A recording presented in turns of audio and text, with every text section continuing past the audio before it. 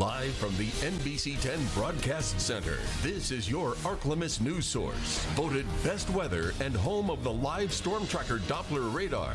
This is NBC 10 News, first at 4. Hello, and thank you so much for joining us for your first at four. I'm Cindy Langston with your South Arkansas News. Our top story at this hour Union County's circuit clerk, Cherry Govan, is facing two new lawsuits tonight one to remove her from office, the other in regard to felony charges that she tampered with evidence. That's today's top story. Govan was arrested last month and charged with charge changing judges' notes on the Court Connect website. She faces multiple felony counts related to those charges. She made bail and went back to work. But today, Govan was served papers that the prosecutor is going to attempt to remove her from office as circuit clerk. No response from Govan on the criminal or civil suits. We will keep you updated on this story both on air and on myarklamiss.com. Well, today, five local students